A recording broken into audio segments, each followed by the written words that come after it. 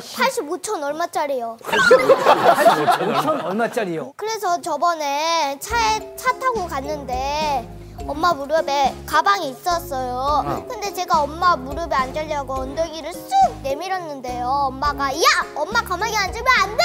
하면서 저를 팍 밀었어요. 그래서 유리창에 얼굴을 팍 박았어요. 어머, 세상에. 근데 알아요? 엄마가 저한테 아 미안해 미안해 어 미안해 하면서 눈은요 가방만 쳐다보고 이렇게 가방을 닫고 있었어요.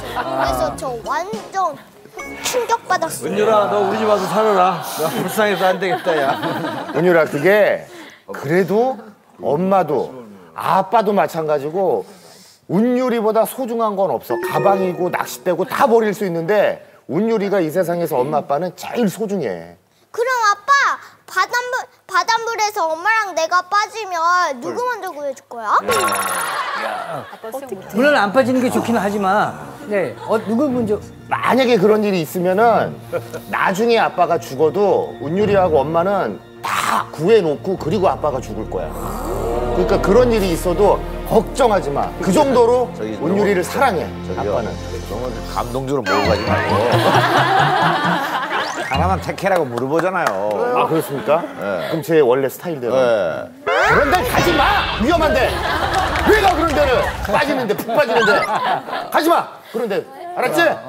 위험한 데 가면 안 돼, 엄마랑. 어 근데 아까 아, 여기 감동적이었어요. 아니 근데 은율이 표정이 재밌었던 게 그런데 가지 마 그러니까 씩 웃으면서 저 어머니. 아 우리 아빠 돌아왔구나 어머니 남의. 가정사에 개입하기. 차례 말씀드리는데 어머니 조금 자제해 주시기 바랍니다. 저기 알겠습니다. 아이고. 다른 거 한번 볼까요? 아빠의 몸. 무슨 몸이 있다고? 몸도 없어 사람이. 제가 몸이 없어요? 몸 있잖아 몸. 그러니까. 마음이면 내가 이해가 가는데 저게 무슨 몸이라.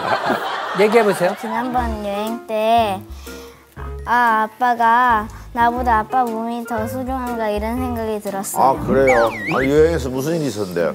아빠랑 저랑 엄마랑 같이 필리핀 섬에 놀러 아 갔었는데요. 필리핀? 카트를 타고 갔는데 아. 갑자기 공룡같이 생긴 도마뱀이 음. 불쑥 튀어났어요. 그래가지고요, 저는 멀리서 봤으니까 귀여워가지고 뛰어갔는데요. 가까이 가니까 너무 무- 좀 무서워가지고요.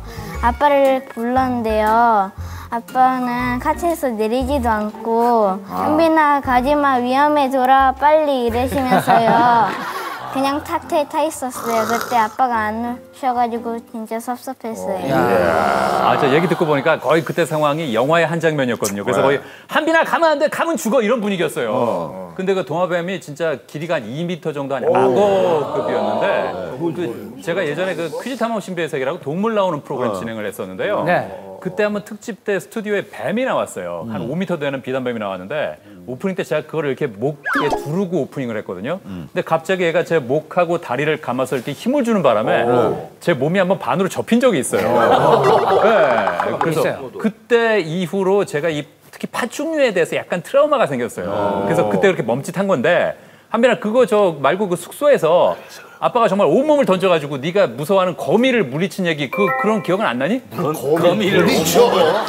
휴지를 꼭 누르면 되는 건데. 아 거미를 물리쳤어요. 아 그럼요 그럼요. 예. 어. 필리핀에요. 언제 저 필리핀 여행 갔을 때요. 밥 먹는 식당에. 도마뱀이 들어온 거예요. 미리 아니면 아, 그래 그, 그래 아, 미리 그랬어요. 아니면 간이를 하지 마라. 그래서요. 제가 잡으려고 했는데요. 근데 구석에 들어간 거예요. 그래서 손 눌렀어요. 그래요 알았어요. 잘했어요. 한 이만한 것도 있었어요. 그러니까요. 아 엄마하고 똑같네. 야 엄마 쪽에서는? 정도? 알았어. 아 그래요? 아니 아빠가 거미를 잡아준 건 아니고요. 온 몸도 던지지 않았고요. 숙소에, 숙소에 있는 물건들을 막 집어 던지면서 입으로 후 불었더니 안 도망가가지고 춤장등을 비춰가지고 쫓아낸 것 뿐이에요. 아이 그때 아빠가 거의 물건을 던질 때 온몸을 던져서 이렇게 거의 날렸단 말이야. 근데 이제 그 카트에 타고 있으면서 예. 큰 도마뱀이 있는 쪽으로 우리 한빈이가 간 거 아닙니까? 아, 그러니까 저희는 그때 그냥 카트에서 그냥 보려고 했죠. 관찰만 하려고 그랬는데 갑자기 제가 신기하다고 내려서 뛰어가더라고요.